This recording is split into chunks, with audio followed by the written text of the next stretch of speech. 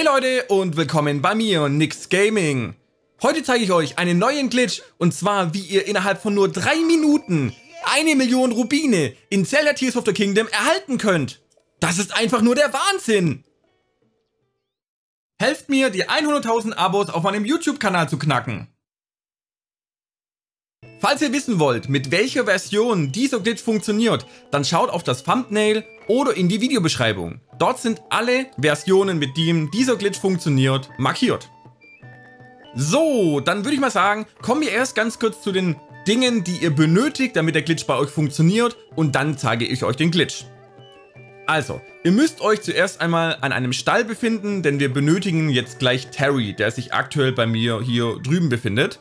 Genau, den findet ihr an jedem Stall, ganz egal wo, ähm, den findet ihr überall, aber ihr müsst euch an einem Stall befinden und ihr benötigt ein Euro Pferde direkt hier beim Stall, denn das benötigen wir jetzt ebenfalls.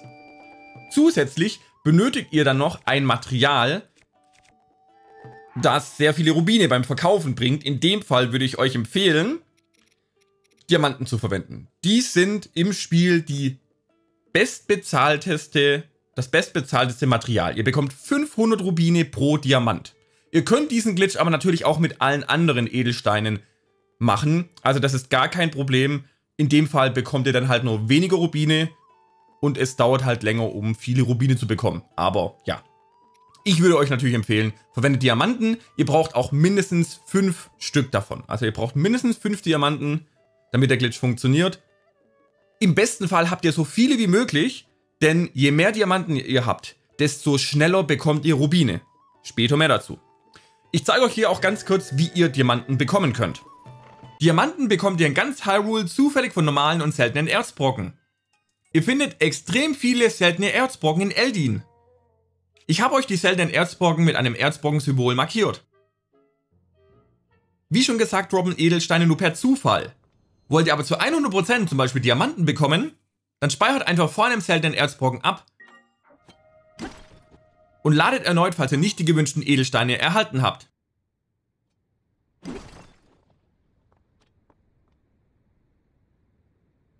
So, habt ihr dann euer Pferd an einem Stall, seid an einem Stall und habt ihr Diamanten, dann kann der Glitch auch schon beginnen. Ich befinde mich hier übrigens beim Stall von Südakala. Ihr könnt theoretisch gesehen überall zu jedem Stall hingehen. Ich bin jetzt bei diesem Stall hier denn äh, wir brauchen gleich eine Erhöhung und hier gibt es mehrere Möglichkeiten, die zeige ich euch aber auch gleich. Jetzt ist aber noch eines ganz wichtig und zwar bevor wir loslegen, achtet darauf, dass ihr morgens an diesem Stall seid.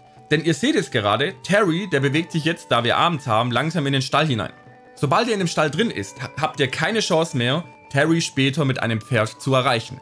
Deswegen achtet darauf, dass es morgens ist, denn dann läuft Terry um den Stall herum und er befindet sich auf jeden Fall draußen. Es sollte auch ebenfalls nicht regnen, also achtet auch ein bisschen auf euer Wetter. Hier seht ihr schon bei mir, ja, es ist bewölkt und später regnet es, dann schlafe ich oder warte ich lieber noch einmal. Denn wenn es regnet, dann befindet sich Terry teilweise auch im Stall und dann funktioniert das ebenfalls nicht. Also da achtet ein bisschen drauf. Was haben wir jetzt? Ja, jetzt ist sonnig und später wird es bewölkt und dann kommt erstmal ein Gewitter, aber das passt. Das kriegen wir hin. So, was wir nun benötigen, ist unser Pferd in der Nähe einer Erhöhung. Ihr könnt theoretisch gesehen hier diese Erhöhung verwenden, ihr könnt den Baum theoretisch verwenden, ihr könnt auch den Stall verwenden. In diesem Fall müsst ihr jetzt euer Pferd gleich in die Nähe stellen und hier runterspringen und auf dem Pferd landen. Bevor wir aber das Ganze machen, würde ich euch auf jeden Fall empfehlen, einmal in euer Menü zu gehen und einmal abzuspeichern. Denn sollte irgendetwas schief gehen, dann könnt ihr einfach ganz einfach neu laden und es passiert euch nichts. Ihr könnt aber, falls ihr diese ganzen Erhöhungen nicht verwenden wollt, könnt ihr natürlich auch hier drüben einfach kurz ein paar Bretter nehmen und euch eine Erhöhung selber zusammen basteln. Ist auch gar kein Problem, funktioniert genauso. Dann nehmt ihr einfach diese länglichen Bretter zwei und dann einmal dieses große Brett. Das legt ihr flach auf den Boden. So. Das platziert ihr dann hier seitlich. Einmal so. Und das andere auf der anderen Seite. Und zwar so. Und jetzt habt ihr auch hier eine eigen erstellte Erhöhung. Die funktioniert ebenfalls. Ihr müsst nur damit auf eurem Pferd landen können. Die kann ich jetzt auch direkt schon so hinstellen. Da muss ich dann mein... Ja gut, mein Pferd reitet äh, ein bisschen weg, aber egal. Die stelle ich jetzt hier so perfekt hin. Und nehme mein Pferd und reite damit in die Nähe, damit ich drauf landen kann. So, schauen wir mal. Und zwar ungefähr so. Das müsste jetzt passen. Ich teste es auch einmal davor, bevor wir den Glitch machen. Und zwar müsst ihr jetzt gleich nachher hier an der Kante stehen, dann nach vorne laufen und X drücken. Und dann müsst ihr auf eurem Pferd landen. Perfekt. Funktioniert. Also, so muss das Ganze stehen. Nun klettert ihr hier nach oben. Stellt euch hier an die Kante und haltet R gedrückt, also eure Wurftaste.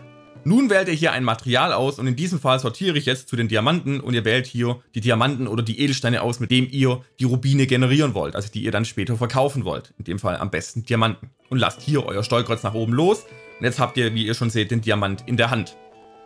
Was ihr nun macht, ist, ihr drückt jetzt euren linken Stick nach vorne, also ihr bewegt euch nach vorne, haltet währenddessen aber weiterhin immer R gedrückt. Springt und kurz bevor ihr auf eurem Pferd aufkommt, drückt ihr Plus.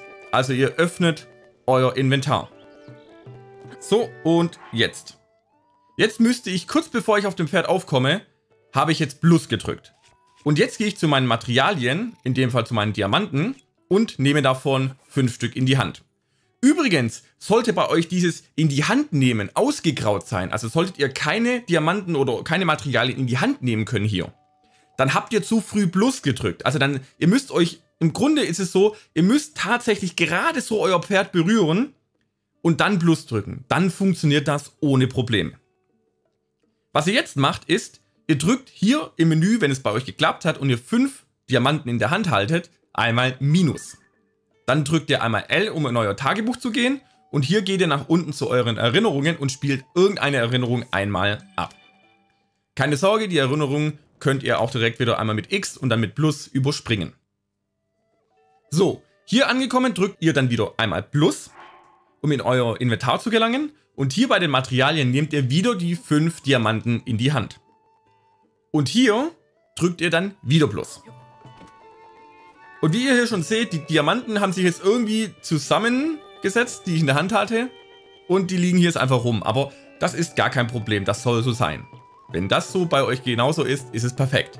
Wichtig ist jetzt, ihr müsst jetzt auf eurem Pferd bleiben. Ihr dürft euer Pferd nicht mehr verlassen.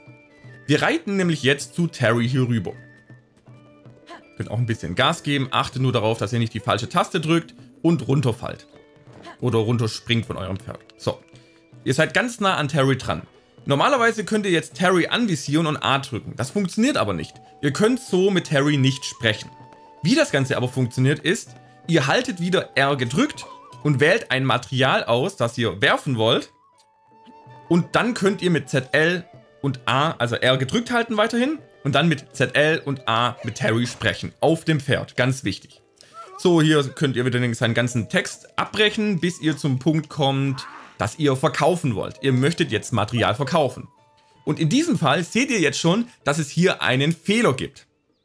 Rechts im Bild bei der großen Ansicht seht ihr, ich habe 87 Diamanten in meiner Tasche. Bei meiner linken Auswahl, bei den ganzen Materialien, seht ihr, ich habe aber 82 Diamanten in meiner Tasche oder die ich verkaufen kann. Wenn ich jetzt aber meine Diamanten auswähle und alle verkaufe, also ich kann hier auch nach oben gehen, dann seht ihr schon, ich kann aber 87 verkaufen. Ich gehe jetzt auch auf alle verkaufen, das sind dann 87 Stück. Genau, so, ja. Und jetzt seht ihr, bei der linken Auswahl habe ich minus 5. Also das ist echt sehr, sehr komisch. Das ist aber gar kein Problem und das ist genau richtig. Das ist, was wir haben wollen. Denn jetzt gehen wir mit B wieder zurück. Und wir gehen wieder auf Verkaufen. Und ihr seht, wir haben wieder alle Diamanten. Das heißt, wir gehen wieder auf alle Verkaufen. Ja. Gehen hier dann wieder einmal zurück mit B gehen wieder auf Verkaufen und ihr habt hier wieder alle Diamanten. Und deswegen habe ich vorher gesagt, je mehr Diamanten ihr habt, desto schneller bekommt ihr jetzt Rubine.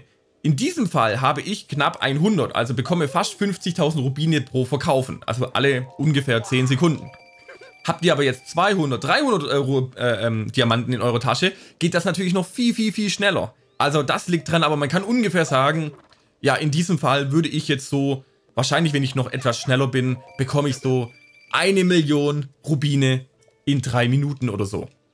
Ich verkaufe jetzt mal bis zur Million und dann würde ich sagen, sind wir hiermit auch fertig. Und dann zeige ich auch noch ganz kurz, wie ihr diesen Glitch dann auch wieder beendet, damit alles wieder normal ist.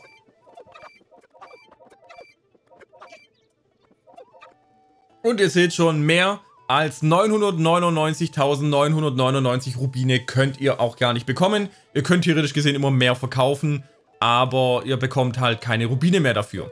Nun gut, aber wenn ihr dann soweit seid, dann geht einfach hier wieder raus mit B und auch hier mit B.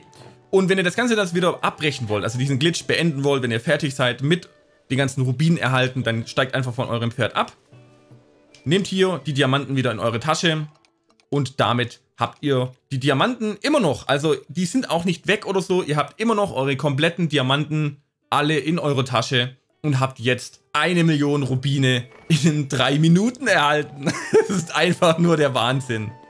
Genau, und das war's auch schon mit diesem Glitch. Wenn euch das Video gefallen oder geholfen hat, lasst eine Like da, werdet Mitglied, abonniert meinen Kanal und aktiviert die Glocke, so verpasst ihr keine neuen Videos mehr.